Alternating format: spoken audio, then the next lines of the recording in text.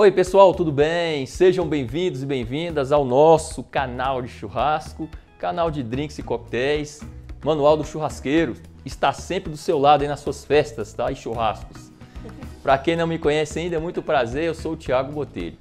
Hoje vamos trazer para vocês aqui um drink gin tônica de cranberry. Uma delícia, vocês vão adorar. Aí eu pergunto, você é inscrito ou inscrita? Não é não? Então se inscreva, ative o sininho, compartilhe o nosso vídeo, dê o joinha, porque toda semana, né?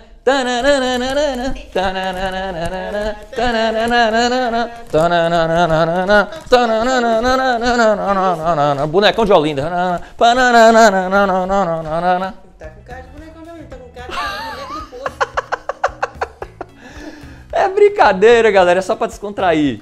Aí eu pergunto novamente, você já segue o nosso Instagram? Não? Não. Então vamos seguir lá. Ai. Esse boneco bonitão aqui, ó, no Instagram, tá aqui também, ó. É, beleza?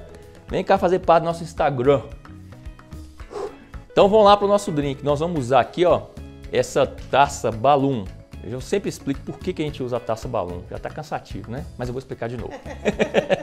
Talvez alguém esteja a primeira vez aí. Então, a taça balloon, gente, ela tem um bojo maior. Então a gente usava antigamente somente para degustar vinho, tá? Porque o vinho você degusta sentindo o aroma e o sabor.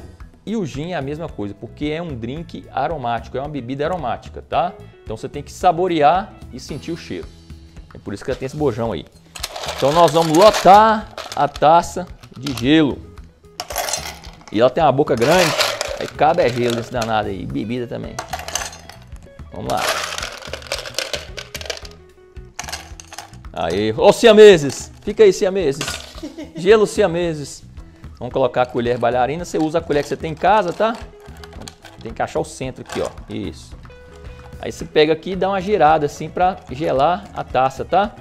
Se você não quer fazer esse ritual aqui, isso aqui é um ritual, tá? Para quem prepara drinks aí. Você pega a taça, deixa ela gelando lá no congelador por cerca de 8 minutos. Aí vai dar o mesmo efeito. Mas o legal é fazer isso aqui, tá? tá bom? Aí nós vamos deixar aqui, ó. Vamos deixar não, vou mostrar para vocês aqui, olha só. O pouquinho que a gente gelou a taça, gelou, você vê que ela tá suadinha por fora, mas juntou líquido, água, um pouquinho por causa do degelo. Então a gente tem que tirar o excesso de água que está aqui no fundo, senão fica aguado, né? O drink não fica bom. Vou usar esse coador strainer, utilize o que você tiver aí. Colher, Ó, olha o tanto de água que sai, tá? É porque tem a transferência, né, de energia. Então vamos lá. O que que vai aqui agora? Vamos colocar gin. Ô, gente, para quem tem dúvida, o que que é o gin? O gin surgiu na Holanda, não vou explicar a historinha não, lá com o professor Silves, tentando achar um diurético, e foi popularizado na, eh, na Guerra dos 30, lá na Inglaterra, que os soldados mandavam ver isso aqui. Aí depois das- dessa guerra aí, o negócio ficou popular e o Brasil descobriu esse negócio aqui e todo mundo tá tomando gin feliz, principalmente a mulherada, porque a caloria dele é baixa. É um drink de baixa caloria, então o pessoal gosta demais. Então vamos lá, cinquentão, cinquentão de gin. É... E o ideal é de 45 a 50 para que o drink não fique muito forte, fique suave. É o ideal. Tem gente que coloca 75, beleza, porque quer chapar. Mas, mas o legal é realmente usar até 50 ml. O que, que nós vamos colocar aqui agora? Aqui no Brasil é muito difícil encontrar, que eu sempre faço os meus drinks com a fruta natural. É muito difícil encontrar o cranberry, porque o cranberry é uma fruta nativa dos Estados Unidos e ela, é, ela tem um sabor muito semelhante à nossa jabuticaba brasileira, tá? Então, é, você não vai encontrar, quando encontra é um preço muito caro, porque tem, é importado.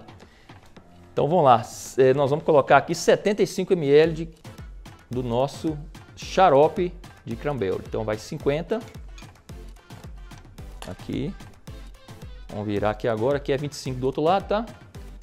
Do suporte do copo aqui. Então nós colocamos aproximadamente 70, tá? 70 ml aqui. Vamos limpar aqui, porque sempre cai um pouquinho, faz parte. Aí. Bom, o que, que eu sempre costumo colocar também nos meus drinks?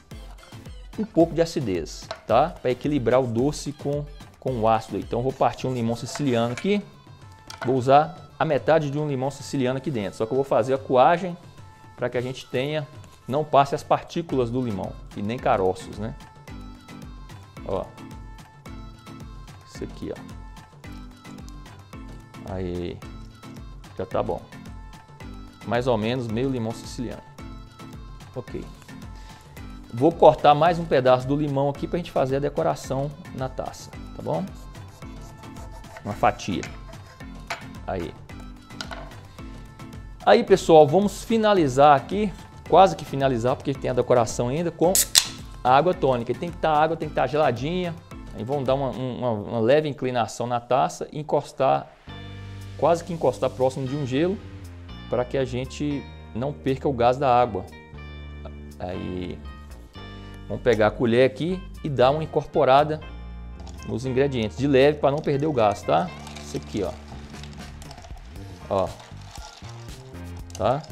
E como, como é, o cranberry, o xarope é mais denso, ele tende a ir mais para o fundo, tá bom? Vamos pegar o limão aqui agora. Dar um piquezinho na base assim, ó. Isso. Colocar aqui. E está pronto o nosso maravilhoso drink. Vamos degustar essa maravilha, hein? Vamos lá então. Pessoal, eu esqueci. Desse aqui eu vou colocar o nosso canudinho. Tem pessoas que falam, canu... gin não usa canudinho não. No meu eu gosto, vou usar. Como não tem partícula aqui, eu vou usar. Olha que delícia, hein? Vamos lá. Câmera Guel do céu, você vai amar. hum. Gente,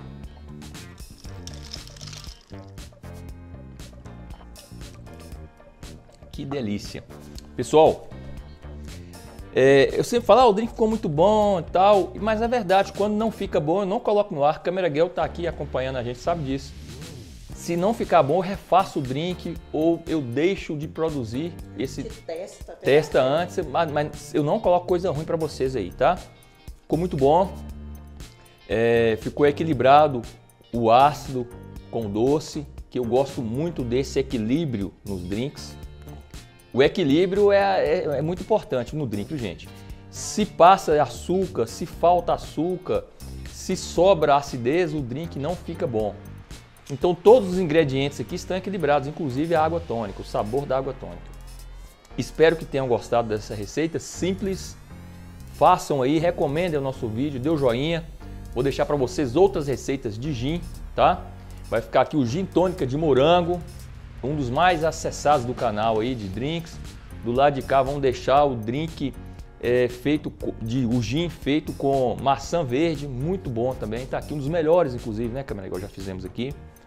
Desse lado aqui nós vamos deixar o gin tônica feito com energético de, de coco e açaí. Delícia. delícia, delícia, delícia. E aqui nós vamos deixar para vocês aí um gin tônica de maracujá, ó, top.